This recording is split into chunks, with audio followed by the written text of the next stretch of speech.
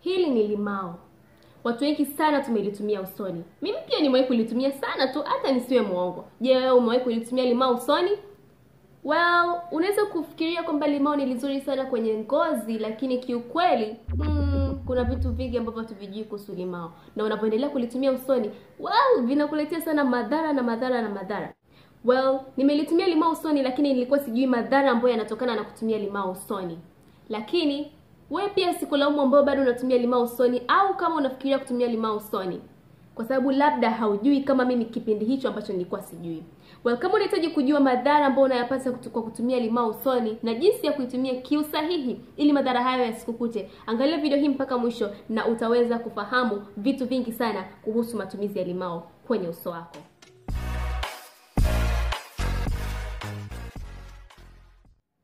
Hey guys, karibuni tena kwenye episode nyingine ya kipindi chetu pendwa cha ngozi. Kama kawaida, kipindi hichi kinakusaidia wewe kufahamu jinsi ya kuitunza ngozi yako mwenyewe nyumbani bila msaada wa products na bila msaada wa mtu yeyote yule, okay? Na kwenye episode yetu ya leo tutaongelea limao.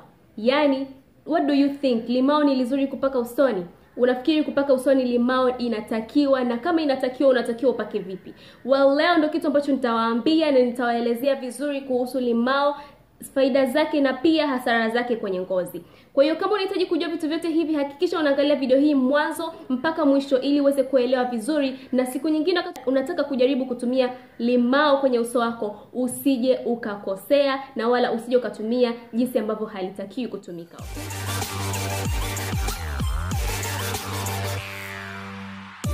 Hivi mnajua kama unaamua kutumia kitu kwenye sura yako au kwenye ngozi yako, inabidi ujue ndani ya hicho kitu kuna kitu gani na kwa nini unakitumia. Kwa hiyo mpaka unapoamua sasa kwamba sasa hivi hapa natumia limao usoni au natumia sabuni fulani usoni au natumia mafuta fulani usoni, ujue ndani ya hayo mafuta au ndani ya hiyo sabuni au ndani ya hilo limao kuna kitu gani. Kwa hiyo watu wengi sana nimeona wana exaggerate, yani wana exaggerate. Nikisema ku exaggerate ni ile mtu anakuwa over excited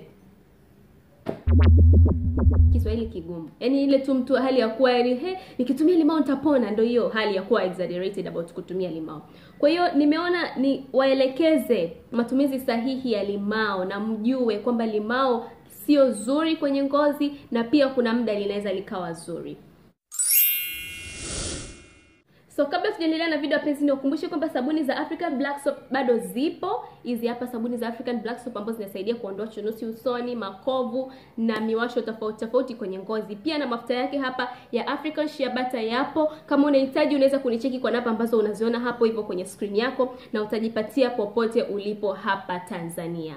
Kitu ambacho tunataka tufahamu kwanza kuhusu limao ni kwamba limao ni tunda, na kama matunda mengine mengi huwa tunapenda kula, yaani unatumia kwa ku intake, sio kwa kupaka juu ya ngozi. Hapana, unatumia kwa ku intake, yaani unakula au unakunywa, unaongezea kwenye chakula. Ndio ambavyo watu wengi I mean, ndio ambavyo tunatakiwa tutumie limao. Lakini kwa sababu sisi tunapenda kuperuse na kusearch search mavitu na kudiscover vitu, basi tukaamua tu tunalitumia usoni kwenye ngozi na kwenye vitu vingine, tukaona kwamba pia linaleta matokeo mazuri. Lakini unatakiwa kufahamu kwamba ndani ya hili limao kuna vitu viwili. Cha kwanza ni citric acid na cha pili ni vitamin C, ambavyo hivi vitu viwili ukivinywa, yani kwa mfano ukitumia limao kwenye kama kinywaji, kwa mfano mimi hapa binafsi huwa napenda kutumia limao kwenye maji kama hivi, naongeza limao kwenye maji. Unaweza ukaweka hivi kama nilivyoweka, au unaweza tu ukanyunyuzia kwenye maji, alafu ukawa unakunywa labda glasi moja kwa siku. Hiyo inasaidia kudetoxify. Nikisema kudetoxify,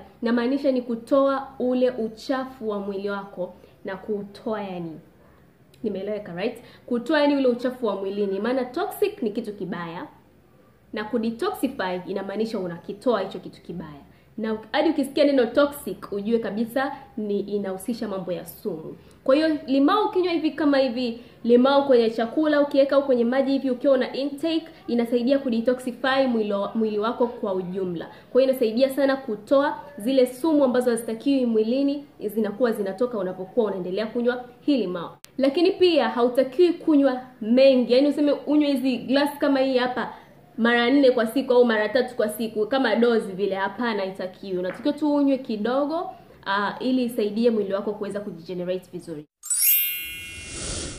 Wapenzi, turudi kwenye mada ya limao kutumika kama kitu ambacho tunapaka usoni.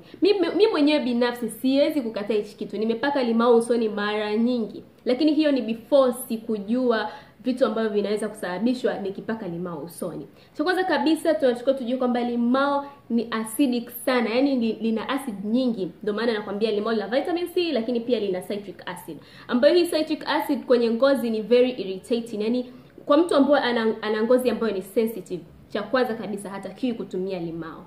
Hautakiwi kabisa kutumia limao usoni, yaani ile unachukua limao na lipaka directly kwenye uso. Hapana, hautakiwi kufanya hivyo kama wewe ngozi yako ni sensitive.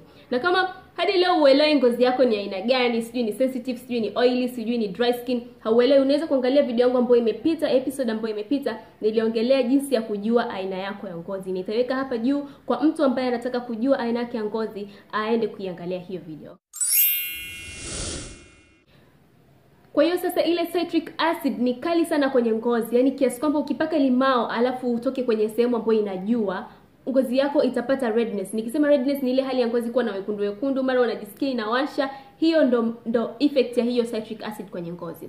Lakini sasa tunatumiaje limao kwa usahihi kwenye ngozi? Unaitumiaje limao kwa usahihi? Yaani unatoka ufanye nini ili limao lisikuletee hizo effects ambazo unazipata? Cha kwanza kabisa utakiwa kutumia limao directly kwenye ngozi yako. Yaani sio kwamba uchukue limao alafu uanze kulisugua usoni, ulisugue sijui hapa, ulisugue hapa, ulisugue hapa, alafu utegemee sijui utapata matokeo mazuri. Hapana. Hiyo haitakiwi kabisa kabisa kabisa. Na hiyo ndio inafanya ngozi yako ipate irritation tofauti tofauti. Yaani unashangaa ngozi imekuwa na redness, kesho ngozi imekuwa na itchiness.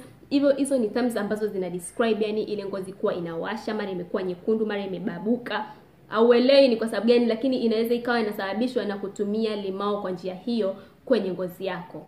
Hivyo basi, kama kuna ulazima wowote wa kuchanganya limao kwenye maski yako au kwenye scrub zako au kwenye kitu chochote ambacho unakitumia, hakikisha unachanganya only a few drops. Nikisema only a few drops, namaanisha unachukua limao unalikamua kama drops mbili. Drops ni matone unakamua kama matone mawili au matone matatu, alafu ndo unaweka kwenye huo mchanganyiko wako, lakini hakikisha hauipaki directly kwenye ngozi yako, kwa sababu hiyo ita cause irritation kama nilivyowaambia wapenzi, na tuhakikishe wakati tunatumia limao hili hatulitumii kwa hiyo njia ambayo nimewaambia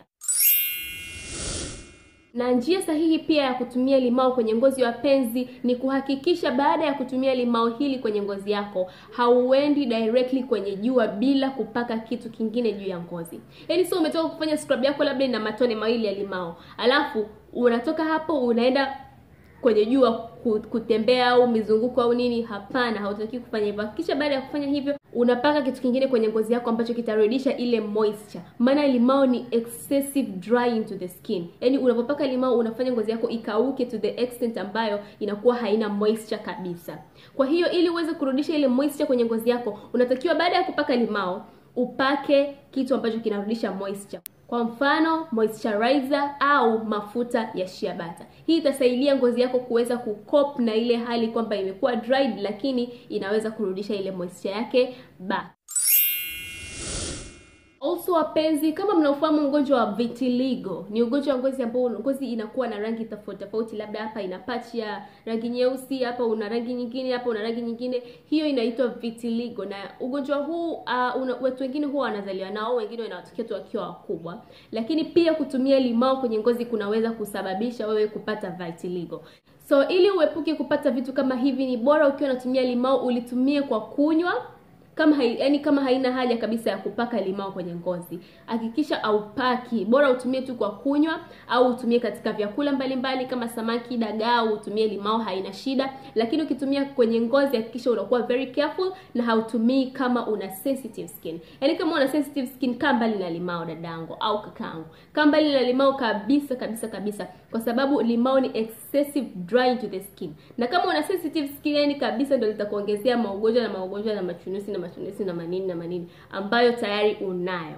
Okay, kwa hiyo tujitahidi sana sana sana sana kufata vitu hivi ambavyo nimewaambia kuhusu limao, na hapo ngozi yako itakuwa na muda mzuri wa kujitengeneza vizuri na muda mzuri wa kuwa na afya.